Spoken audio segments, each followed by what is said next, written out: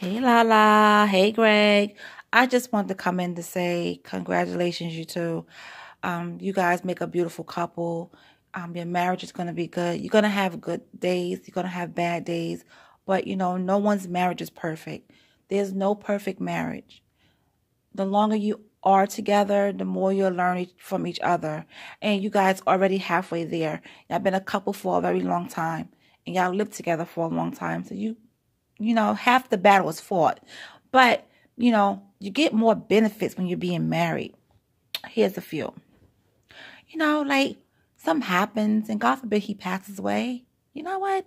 Guess what? If your name is on the life insurance policy, you get money, girl. You get money. that was a little joke told to me, so I'm passing a little joke on to you. But anyway, I'm just joking, so don't nobody come at me sideways because you will get cussed out. Um, but yeah. So anyway, you know, there's a lot more benefits to being married than just being boyfriend and girlfriend, and you will find all those things out once you become a union. So I know you're getting married, and I know you're gonna be emotional because you're happy. Just be like, wow, this is the guy I'm about to marry and spend my whole life with. Greg, divorce is not an option, dude. There's no divorce. There's no divorcing. Okay? Okay. Just so you know. Anyways, so back to you, Lala.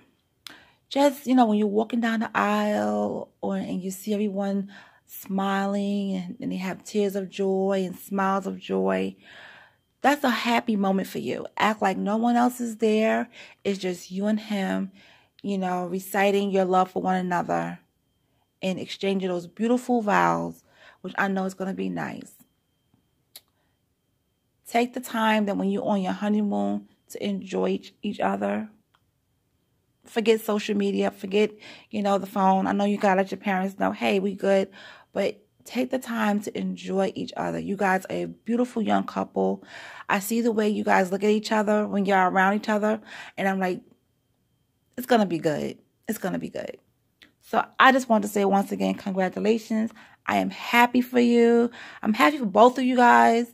Greg, just give her what she wants and your marriage be happy. Okay? All right. Love you guys. Once again, congratulations.